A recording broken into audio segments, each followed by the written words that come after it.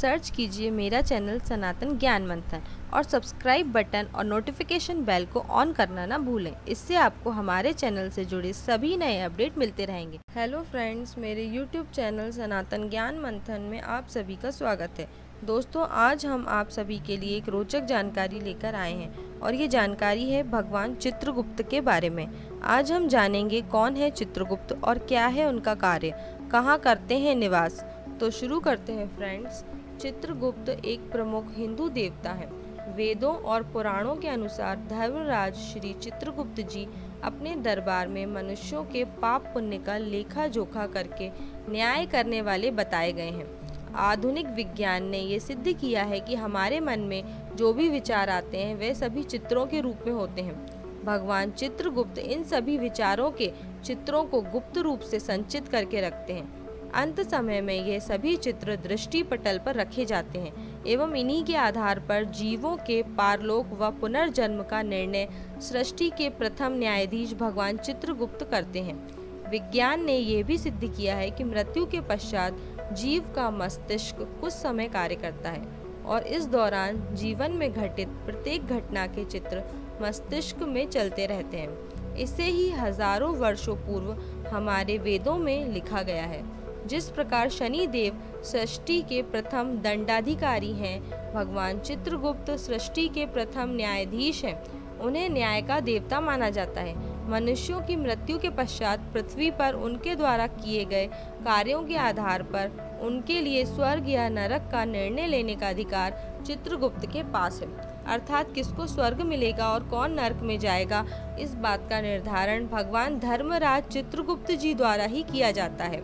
भगवान चित्रगुप्त जी भारत आर्यवर्त के कायस्थ कुल चित्रवंश के जनक देवता हैं। मान्यताओं के अनुसार कायस्थों को चित्रगुप्त का वंशज बताया गया है।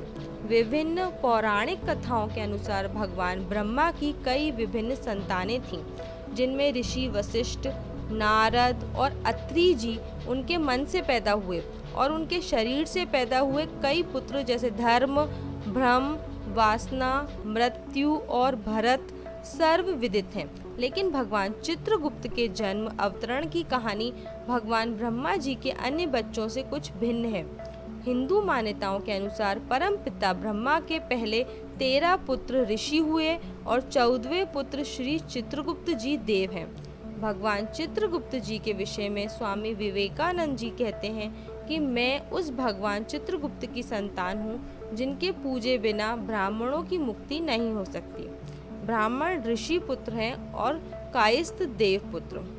ग्रंथों में चित्रगुप्त को महाशक्तिमान राजा के नाम से संबोधित किया गया है। ब्रह्मदेव के सत्रह मानस पुत्र होने के कारण वंश ये ब्राह्मण माने जाते हैं। इनकी दो शादियाँ हुई पहली पत्नी सूर्य दक्षिणा, नंदिनी, जो ब्राह्मण कन्या थी।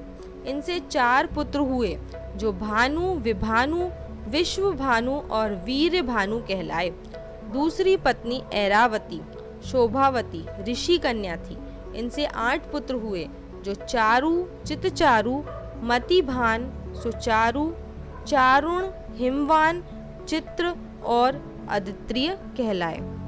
तो फ्रेंड्स, आप सभी को हमारी ये रोचक जानकारी कैसी लगी, नीचे कमेंट करके ज़रूर बताएँ।